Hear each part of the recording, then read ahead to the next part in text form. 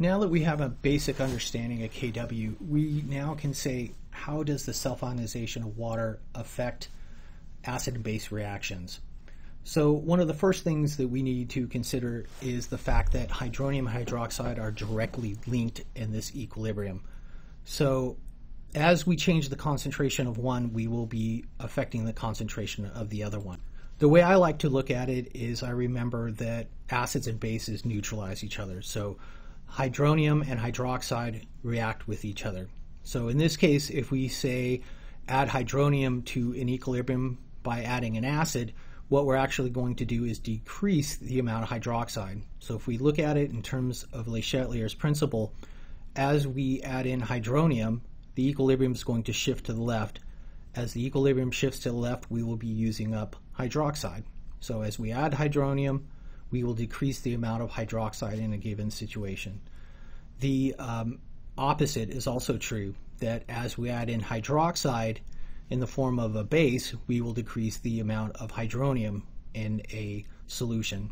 So as we add in hydroxide, the equilibrium is going to shift to the left. As the equilibrium shifts to the left, the concentration of hydronium is going to decrease. So as you add in one, you react it with the other one. So really what we want to look at is what's going to happen to a equilibrium say a Ka or Kb, when we add in additional hydronium or additional hydroxide. So here we have a Ka expression for hydrofluoric acid, and we ask the question, what's going to happen to this equilibrium if we add in additional hydronium in the form of a strong acid, say HCl? What's going to happen to this equilibrium? So based off of Le Chatelier's principle, the equilibrium will shift to the left. So uh, if we are adding in more product, in this case hydronium, so if we're adding hydronium to this equilibrium, the equilibrium will shift to the left. And that means that the concentration of F minus will decrease.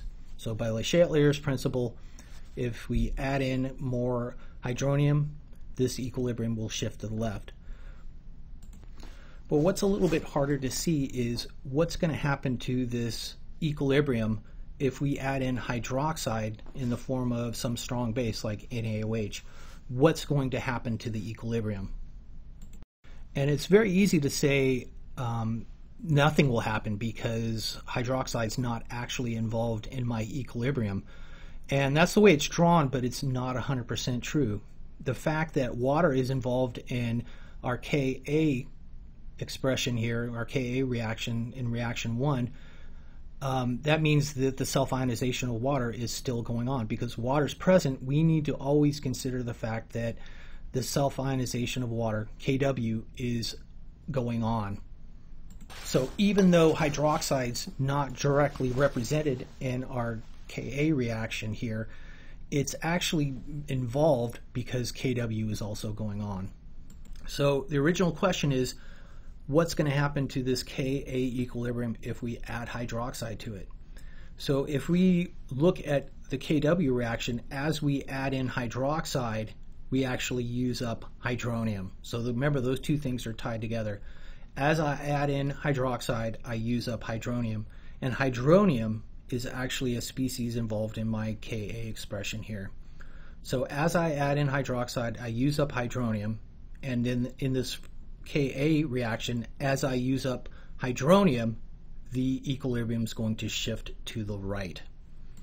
So this is one of the tricky ideas with acids and bases. Because water is present, we need to always consider the fact that the Kw um, equilibrium is going on. So in this case, by adding in hydroxide, we actually affect the concentration of um, hydronium in this Ka expression. And so we're going to be using this quite a bit, um, especially when we start talking about titrations.